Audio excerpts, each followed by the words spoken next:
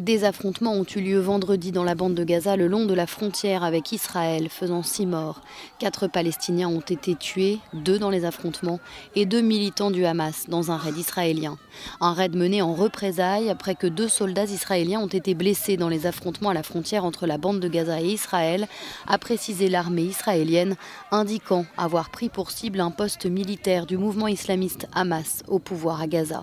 Selon le ministère de la Santé à Gaza, 50 Palestiniens ont été blessés par des tirs israéliens dans ces affrontements. Quelques 5000 Palestiniens s'étaient rassemblés pour manifester. Cela fait plus d'un an que ce type de rassemblement a lieu le long de la frontière pour protester contre le blocus par Israël de l'enclave palestinienne et pour le retour des réfugiés palestiniens chassés ou ayant quitté leur terre à la création d'Israël en 1948. Samedi matin encore, des témoins faisaient état de nombreuses roquettes lancées depuis Israël.